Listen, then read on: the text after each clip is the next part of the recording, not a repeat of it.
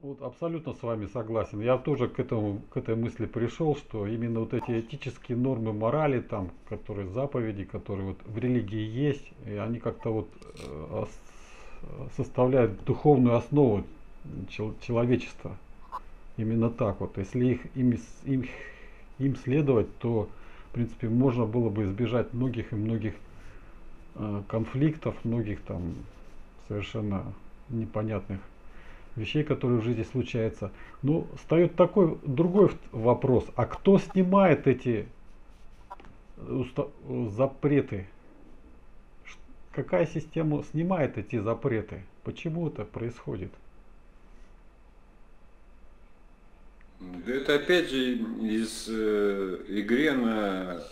То есть вот э, человек каждый день, каждый час, можно сказать, каждую минуту он стоит перед выбором. То ли делать добро, то ли делать зло.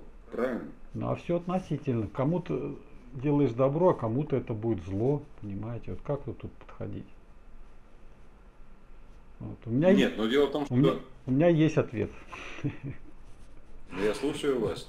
Дело в том, что вот вы посмотрите, вот, что при, происходит при капитализме с той же самой темой развития техники, науки, да, то есть вот я как-то начну так издалека. Тоже зашел к своему другу Игорю Иванову и гляжу, у него на, пла на стене висит плакат. Так, Альфред Хичкок. Знаете, кто такой, да? Там какая-то вороны там изображены. И по-английски написано Astonish me. Я так, что такое Astonish? Что-то я не знаю. Говорю, что такое Astonish? Он говорит, удиви, удиви меня. То есть Альфред Хичкок в своих, э, скажем, этих самых фильмах использовал принцип удивить. Удивить его, удивить всех. Так это же и есть основной принцип капитализма. Удиви всех там, удиви меня, удиви всех. То есть, а для этого, скажем, ну, использовалось все. То есть, потому что ты удивил, ты на топе находишься, ты хайпуешь, грубо говоря, по-современному, ты получаешь премиальные бабки с этого продукта, с этого чего-то там. Вот. А когда ты рынка становится все меньше и меньше, сколько можно там этих э, придумать там айфонов, там телефонов и прочее, начинает, начинает снимать запреты. Те запреты, вот 10 заповедей, которые были. Потому что ты снял запрет, там, не прелюбодействуй. У тебя появились там какие-то, э, значит, э, область новая область экономики, удовлетворение там лесбиянок там и прочих там гомосеков и так далее. Ты будешь для них там что-то производить. Вот. Нет, тут я с вами немножко не согласен. То есть, чем меньше запретов в экономике, ну так она идет, тем больше, Нет, я... расшир... больше возможностей Нет, для так... бизнеса. Ну как? Нет, я тут с вами не... Нет, я с вами тут не согласен. На мой взгляд, вот это снятие запретов, это совершенно осмысленное действие со стороны вот тех, кто хотели бы глобально управлять миром. То есть глобально получать прибыль с того быдла, в которое они хотели бы превратить любой народ. И что такое вот э, живи для себя, живи в удовольствии? Это разрушение семьи, это разрушение государства. А в этом случае какой смысл этому существу или человеку защищать это государство? Его можно брать голыми руками. Ты ему либо дай наркотики, либо дай еще какое-то удовольствие. И все. Он не будет воевать с тобой. Поэтому я вот считаю, что это осмысленное действие вот того финансового капитала, который э, стремился и стремится, э, ну, грубо говоря, осуществлять властвование над всеми народами. Ну, потому что с точки зрения здравого смысла, но я не верю, что можно эффективно управлять вот по-нормальному, да, 8 миллиардами людей. То есть вот как бы, чтобы решать их проблемы и так далее, и так далее. Но э, загнать их в состояние быдла, примитивного потребления, вот удовлетворения своих потребностей, и все. ты можешь ими владеть. Не надо никаких ему, ни профсоюзных гарантий, там, не надо заботы о детях. Ты можешь только ну, мгновенно получить ту прибыль, о которой ты мечтаешь. Поэтому вот я-то связываю это со смысленными действиями все-таки э, тех людей, которые вот объективно э, стремятся, как они говорят, владеть всем миром. Ну, я с, согласен с, с этим тезисом, в общем, с этим, то, что вы сказали. Но с другой стороны, э, это и есть капитализм. Вот в современном понимании это и есть. Согласен с вами. Это и есть, что он постоянно ищет новые возможности для расширения производства, какие-то новые ниши. Появилось, появился. Ну, я бы так сказал. Не для расширения производства, для, для, для получения прибыли. Для получения прибыли. Любым способом. Любым способом. Да. Прибыльно экспортировать э, наркотики из Юго-Восточной Азии было. Пожалуйста. Это же, извините меня, что, Соединенные Штаты с их военной машиной не могли это прекратить? Да нет. Это все было как раз предназначено для того, чтобы организовать все это хозяйство. Потому что кто-то получал прибыль и получает. Так что тут, видите, тут, тут э, как вам сказать, иногда, на мой взгляд, даже человека, конкретного человека можно, он даже, как сказать, он даже не осознает последствия своих действий. Просто он находится в системе, где если прибыль это главное, он и делает то, что приносит прибыль. А все остальные проблемы, там, мировоззрение человека, беспокойство о каких-то там, значит, детях и так далее, ну это вообще, это вторично для них. Ну вот, согласитесь, тут с одной стороны, вот это плохо, да, а с другой стороны, вот, э, если там это все, скажем, отменить, то получается государство типа нашего позднего социализма, когда все, как там, как это называется, уповали на государство и хотели получить от государства какие-то пряники, плюшки, ничего при этом не делая. Вот, то есть, а если это все отключить, получается, как вы говорите, жадность, зависть и как начинает работать механизм, который заставляет людей искать, э, каким образом там най, э, заработать, заработать, получить прибыль. Вот, вот какие-то такие вот рамки. Этого слишком много плохо, а слишком мало тоже получается плохо. То есть застой. Согласен. Вот и надо найти какой-то баланс.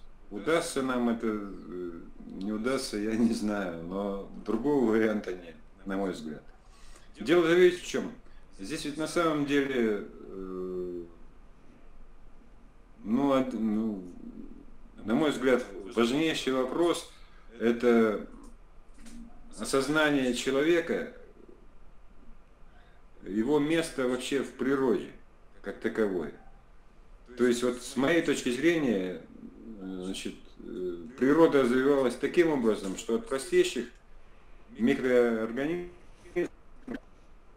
на сегодня к уровню человека.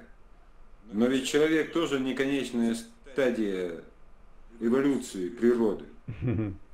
Я вполне допускаю, я об, об этом, по-моему, уже сейчас и на Западе отдельные значит, ученые говорят, что предназначение человека это создать э, существо, которое, ну, по сути дела, способно жить в более агрессивных средах, то есть роботов. Нет, но это логично. Обезьяна, э, она же сохранилась и сейчас, она живет сама по себе, своей жизнью. Э, человек, как эволюционировавший из обезьяны, он живет своей жизнью, но как, как вам сказать, обезьяна ведь не думала, что она будет э, прародителем человека. Она просто жила своей жизнью и жила. Часть из них вот развилась в следующий этап. Ну вот я, я думаю где-то так. Это, э, как вам сказать, э, если отбросить какие-то там высокопарные слова, то так оно, наверное, и будет происходить. Но так в природе происходит просто. Ну, в чем-то я с вами соглашусь и даже могу сказать, что действительно вот есть такие футурологи там, и вот они рассматривают процесс эволюции человечества, развитие технологий, развитие наук.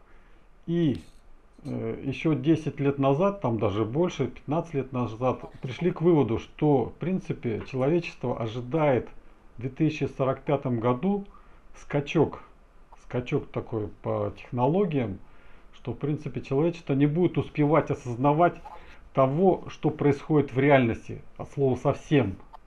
То есть настолько там такая начнет этот скачок произойдет, э, как точка сингулярности будет достигнута такого. Вот. И в то же время они связывали это э, еще с тем, что я уже не помню, как это, я как-то читал 10 лет назад на эту тему. Вот вот, э, что будет э, создана э, значит, возможность сделать человека бессмертным. Бессмертным, бессмертным, но не в теле человека, не в биологической оболочке, а в другой, в твердотельной, состоящей из миллиарда нанороботов. Как вот человеческое тело состоит из частиц, клеток биологических – а там миллиарды нанороботов будут твердотельных. И это придет к тому, что человеку не нужно будет биологическая еда, он будет напрямую там от солнца получать, заряжаться и так далее. Не нужно будет ему кислород дых, дышать, что он может быть находиться в других там средах, путешествовать там к звездам, во Вселенной и так далее. В чем-то вы тут, э, в общем-то, правильно сказали. И тут какие-то мысли. И даже есть такой сайт, называется 2045.ru. Вот там такой Дмитрий Ицков, такой мультимеди, мультимедийный магнат э, этой темы занимался. Вот я как-то недавно заходил и вижу, что там как-то все зависло так. Сообщений последних нету. А так довольно активно развивался сайт. Какие-то сообщения туда шли, все такое. Ну это связана еще с трансгуманизм тема перенесения мозга человека в твердотельное состояние, в компьютер и так далее. Вот как-то так. Вот. Ну, э, то есть я, я, видите, я не оригинален э, в том, как э, возможно, нет, то, что вот человек, что не конечная инстанция развития природы, это, я думаю, очевидно, потому что ну, не может такого быть. В принципе, природа сама по себе развивается по своим законам там, э, и так далее. Это тому очевидно. А уж во что оно потом превратится, ну, не знаю. Но логика вот, возможная, она вполне то, что вы описали, я тоже точно так же считаю. Ну, там действительно приводились такие примеры, скажем, ну вот человек хочет там себе, скажем, изменить, там, ну вот в человеке уже пошли изменения, там искусственная рука появилась тема, там, искусственная нога, там искусственное сердце, в принципе. Ну, а чем это вот на самом деле не есть эти вот постепенная замена искусственных э, э, природных органов человека на искусственные приводит к тому, что человек начинает стоять какой био, биоробот такой, да. Только голова остается еще как-то, невозможно там перенести ее. Ну, со временем, наверное, этот вопрос как-то будет решен там программным способом или еще что-то там будет, будет придуматься. Ну, тут масса, конечно, проблем возникает. Вот, э, таких непонятных. Ну, как-нибудь осмыслим, наверное. Но это произойдет в том случае, если не произойдет какого-то катаклизма. Типа там войн там глобального масштаба и прочее, когда все отбросит там нафиг. На десятилетия, может быть и столетия туда. Назад все. Ну, согласен с вами. Но вы понимаете, дело в том, что вот мы смотрим э, вокруг нас, да, что мы видим? Что, в общем-то, живые существа, они э, по-разному организовывают свое существование на Земле. Ну, к примеру, те же муравьи, те же пчелы. Понимаете, ведь у них э, выработаны инстинкты, которые позволяют им вот существовать длительный период времени вот в том mm так сказать, состоянии, в котором они находятся. В обществе, оригинально построенном и так далее. А вот, на мой взгляд, э, человеческое общество, оно еще находится в стадии поиска вот этого оптимальной организации. Mm-hmm. Успеет ли найти? Да, конечно, вот это и, это и вопрос, да, согласен с вами. Понятно, понятно. Так, ну у нас там с вами очень долгая дискуссия. Я тут на самом деле немного ее записываю и выкладываю. Надеюсь, вы не будете против того, чтобы выложить нашу с вами дискуссию. Я думаю, достаточно интересную для обозрения, скажем, других людей. Да я своих взглядов не скрываю. Понятно. Ну, можете поинтересоваться. У меня, у меня YouTube канал называется, куда я выложу, э, называется Центр Российской империи. Так вот, по-простому. Что называется. Вот я давненько туда ничего не выкладывал, но вот решил, что надо бы возобновить такие нормальные, без ругани, без мата, туда что-нибудь такое выкладывать. Вот. Спасибо вам за дискуссию. Поинтересуюсь, как вас зовут? Меня Сергей зовут. Меня Владимир. Владимир, понятно. Вот. Хотя у меня остается еще один вопрос такой, может быть, на закуску такой. Вот, как вы считаете, все-таки что полезного сделал, а, сделал Ельцин для России? Вот как вот вы так вот, Владимир, считаете? Вы знаете, вот как это не парадоксально, может быть, звучит, но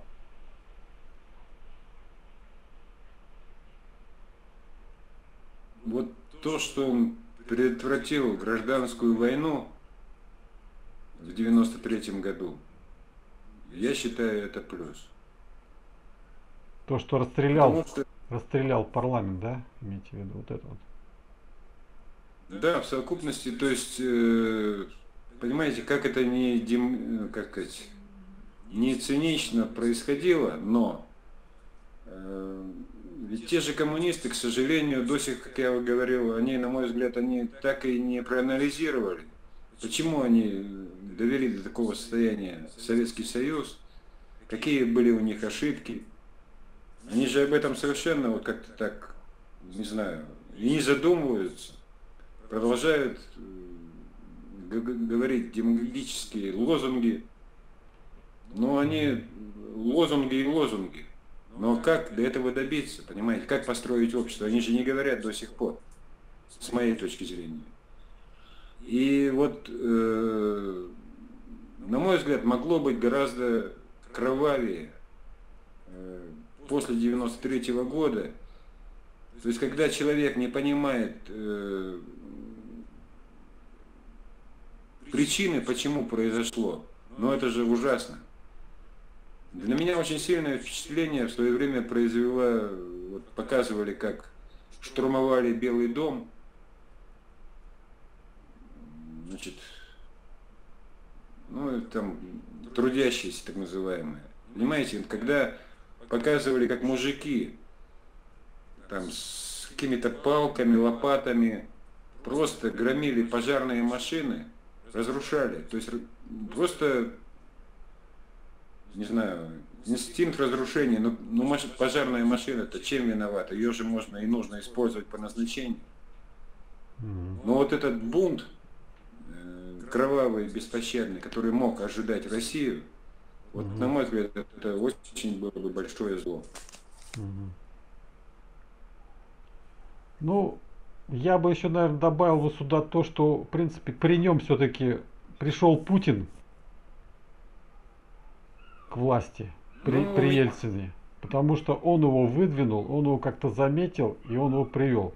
Вот это самый большой тоже, знаете, плюс такой. Ну, вы знаете, э, мое мнение, что без воздействия определенных сил этого бы не произошло. Угу. Я не верю, что э, господин Ельцин вот так вот вдруг протрезвел, осознал и добровольно все это сделал. Но не верю. Не, ну можно вспомнить, что перед этим Путин-то, в общем-то, был, курил наши там ФСБ. В общем-то, какой-то полковник пришел и стал там заниматься, стал начальником этой конторы. Но вы, ж, но вы же понимаете, что в этой структуре, когда пришел полковник, э, в этой структуре как были, так и оставались генералы. Вот в том-то и дело. Они не все были предатели. Вот, ну, не починули была ему, скажем, преди, скажем так, должность поставлена. Почему не генералы стали начальниками? Понимаете? Там же в армии все, все порядочно. Нет, но вы, вы, у меня другое впечатление о деятельности спецслужб. Угу. Они стараются никогда и правильно делают э, своими руками не делать какие-то вещи они э, организуют, это правильно. Но у меня вот, понимаете, вот у меня такое представление, что все это не случайно. То есть человек, э, Ельцин, как человек, который вот последние свои годы жизни, да и, и до этого стремился к власти, просто так от власти уйти, ну не верю. Не верю. Ну, он вынужден был это сделать. Вот мое убеждение, что он вынужден был это сделать, и, и хорошо, что он э, это все осознал и сделал так, как сделал. Вот мое такое мнение. Ну согласитесь, когда Путин пришел к власти и до самого последнего времени Путин не осуждал Ельцина. И даже до сих пор разрешает там Ельцин-центру нести всякую чушь, грубо говоря, также. Нет, понимаете, дело в том, что вот я То есть лично... какая-то договоренность между ними уважаю... была, и он до сих пор ее выполняет. Понимаете? Мне так кажется. Здесь, нет, понимаете, здесь вот, на мой взгляд, э, есть такое понятие офицерская честь. Да, да, да. Вот э, здесь это не... Я больше связываю не с какой-то там меркантильной договоренностью и так далее. Просто есть понятие чести. То есть он помогал и спастись Собчаку, хотя с моей точки зрения он в настоящее время к идеологии Собчака изменил свои отношения, но э, по-человечески он честен. Ну да, действительно. Я, я это рассматриваю вот именно так. И поэтому и по отношению к Ельцину тоже я не вижу там каких-то значит, меркантильных расчетах. Ну не верю в это. Не, не меркантильные, а договоренности какие-то. Что он не будет его репрессировать, когда придет к власти. Он же, ну, чувствовал, старичок-то уже старый, елки-палки, спившийся. И как, рано или поздно ему надо было кого-то приводить и самому уходить. Ну, не, не вперед ногами же вы, вы, выезжать из, из власти, с этой, из Кремля. Вот, так что Нет, понимаете, там были договоренности Нет. определенные. Это, это совершенно четко проследуется на, после всего остального. Вот. И, и он его заприметил, как говорят, это самое, еще когда тот был, в общем-то, выполнял наказы там, у Собчака был, э, скажем так, помощником. Какие-то он там заказ, какие-то вещи для Ельцина специально сделал. И в этом плане вот началось его продвижение такое. Я уже забыл, что там, что там говорили, что там сделал. Кто-то рассказывал эту тему. где-то можно найти, найти поковыряться какие-то там воспоминаниях или там что-то там, что было до этого, когда Путин был у Собчака помощником. Вот. Память такая, блин. Ничего, плохо держит некоторые моменты. Высыпается все из нее. Вот. И вот еще один момент, мне кажется, интересный был такой э, у Ельцина, который я так лично оцениваю как положительный момент, в том плане, что он, помните, сказал, берите, э, когда он губернатором сказал, берите власти столько, сколько хотите. А что в этом положительного? А тут момент такой, что все вот от противоположного все боролись за эту власть, за независимость. А когда им человеку сказать, да бери ты нафиг, бери, сколько хочешь, только и бери, только не подавись ею. Человека тут раз и начинает, ну, умного человека, и переключается, переключатель. Да, я возьму власти сколько хочешь. А что эта власть несет? Понимаете? Что-то меня обязывает делать. Ну, получу эту власть. А дальше что? Как я буду эту властью распоряжаться? Может быть, мне все-таки под зонтиком большой власти находиться и там свои там какие-то дела делать, управлять там регионом и так далее. Может быть, есть больше выгоды, понимаете? Это вот Нет, чисто вы... человеческая психология так работает. Человек уперся там рогом в стенку и бодает эту стену. А перед ним убрали эту стену, туда раз и улетел нафиг, понимаете? Ему говорят, бери, убираем стену. И человек, Но... если умный, он так, Нет, вы... оба-на. Нет, на мой взгляд, вы рисуете какую-то теоретическую возможную картину, ну, как согласен. вам хотелось. Как вам хотелось, потому что Нет. критерий, критерий это практика. А на практике мы с вами увидели, что таких умных губернаторов, что-то я не помню в тот период времени. Не, ну всех крутили потихоньку так. Ну, слова были такие сказаны, в принципе. Нет, слова-то были сказаны, но умных губернаторов я что-то в того периода не помню. Ну как, ну Росселя же вашего взяли в Сенат, и он там до сих пор сидит. А он же хотел у вас там Уральскую республику с Франком Уральским завести, сделать. Как-то так вот приблизил. Ну вы думаете, вы думаете, что он после слов Ельцина одумался, что ли? Или как вот вы расцениваете? Ну, может быть, в какой-то степени, в какой-то степени, почему и нет. Мы же вот имеем то, что сейчас имеем, в общем-то, видим, что государство не распалось после этих слов. Не развалилось там на Сибирскую, там какую-то республику, на Дальневосточную, на Уральскую и так далее. Хотя некоторые по-другому считают, что это очень плохие слова были им сказаны, что-то как раз минус. Но вот я чисто с психологической точки зрения человеку сказать, да бери нафиг, бери, посмотрим, что ты, будешь, что ты будешь делать с этой, с этой обузой. Потому что, как говорится, тяжела шапка Мономаха-то. Тяжела, не по сеньке шапка. Вон, на Зеленского посмотреть, как его колбасит. Да, вы знаете, я, я больше, так сказать, согласен с высказыванием Михалкова. Mm-hmm. Не, не Михалкова, а Шахназарова. Может. То есть он как режиссер э, оценивает его как просто э, артиста, который взялся, ему дали роль, которой он мечтал быть на всеобщем обозрении, и он от этой роли просто, во-первых, не откажется, во-вторых, ему за это платят приличные деньги, мягко говоря. Согласен. Поэтому, поэтому это отдельная песня, это отдельно, на мой взгляд. Это точно отдельно. Ну, хорошо. Спасибо вам за такую пространственную дискуссию. Было интересно с вами пообщаться. Надеюсь, будем пересекаться и дальше, почему бы нет. Чатурлетка. Еще раз, пожалуйста, назовите, как называется ваш сайт. Что, что а. Интересно, какую часть вы там разместите? Да, я думаю, порежу на несколько частей, возможно, там, потому что длинный ролик получится. тяжело смотреть. И, в принципе, можно его поделить так по частями. Центр Российской империи.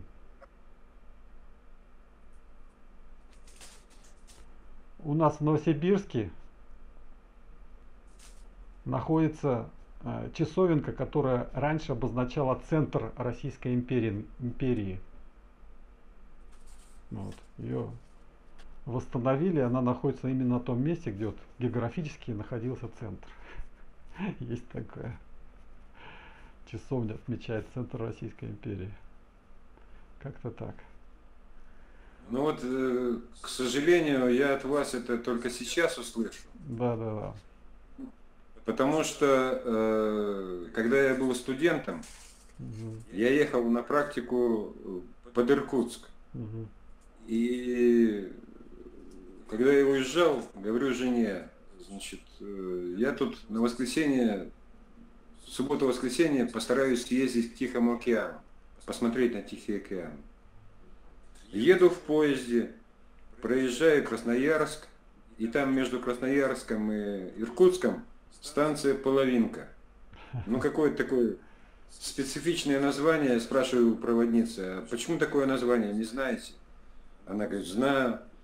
Это половина расстояния от Москвы до Владивостока. И тут я понял, что мне не удастся из Иркутска съездить на субботу-воскресенье во Владивосток. Географию плохо знаю. А вы сейчас, видите, еще уточнили, что, оказывается, центр был в Новосибирске. Да, вот как-то там он находился, когда Ясно. Российская империя была самой могущественной в своих самых больших границах. Вот так. Ну ладно, всего хорошего, здоровья, берегите, берегите себя, все, все у нас получится. Спасибо и вам. До свидания. До свидания.